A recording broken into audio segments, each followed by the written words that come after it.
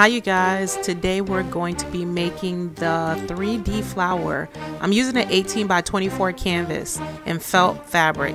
First thing I'm going to do is create the pattern for my petal to my flower. I'm going to go ahead and open up the canvas. I'm going to use three canvases. It's going to be three flowers. So I'm just going to show you how to do first flower and you'll just duplicate it. Okay, so I'm using the piece of paper as my pattern to create the shape of my petal. Oh, I decided I don't want the middle part. This is the shape that I would like. So I'm gonna go ahead and duplicate this shape throughout. Go ahead and cut all your petals out at one time.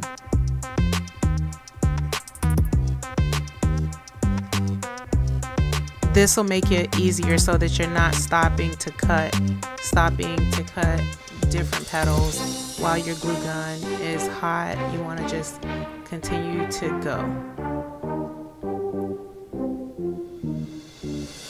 Okay, so you want to cut a slit down the middle about four inches long, depending on the size of your petal. These petals are about eight by maybe eight by seven and you want to go ahead and take that flap and fold it over and use the glue gun to seal it. And this is going to just create dimension for your your petal which will create dimension for your flower. Because we want that 3D effect. We want it to sit out. We don't want our petals to be just flat. Okay this part that I'm cutting out is going to be the center the center of my flower. It'll make sense in the end when you see me you're not going to cut the, the fold because you want it to open up. You want two leaves to be on one petal. Just continue to watch and you'll understand.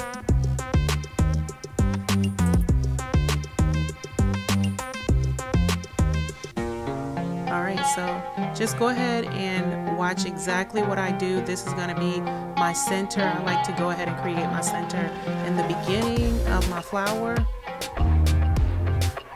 because once I'm finished, I just like to sit the center right inside. I don't want to have to do the center. So just follow exactly what I'm doing. I'm rolling it and then I'm gluing it. I'm taking the other side and I'm going to do the exact same thing. So you're just going to roll it inward and glue it. Roll that side and glue it. Just that easy. You're going to continue that process. All right, so let's get started. Go ahead and glue them down exactly how I'm doing it. This is my first time, you guys. So just follow what I'm doing. I don't have an exact method. I'm this is my this is well this is my second time. So just follow exactly what you see me do.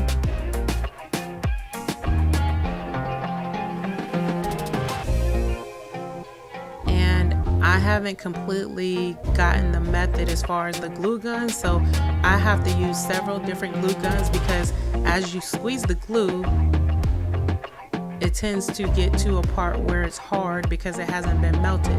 So you may need a few glue guns, you know, unless you don't mind waiting. So I just already had two other small glue guns, so I just kind of rotated them.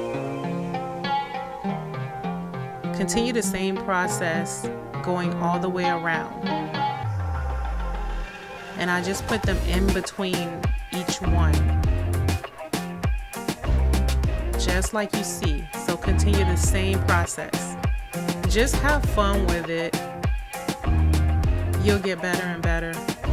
I can even see myself getting better each time I do it. So beautiful in your house. So beautiful. As long as you use the right the right um, fabric, it, it looks beautiful. And just continue the same process all the way around. Just have fun.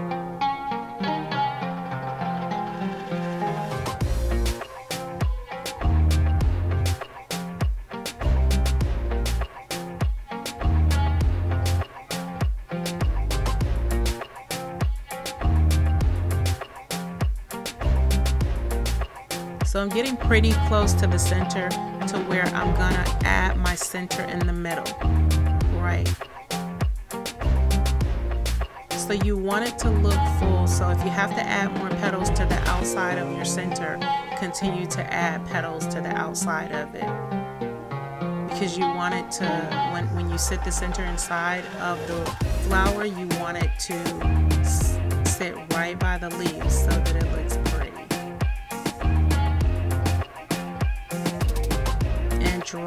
glue in the middle, just put glue in the middle or either put it on the bottom of the center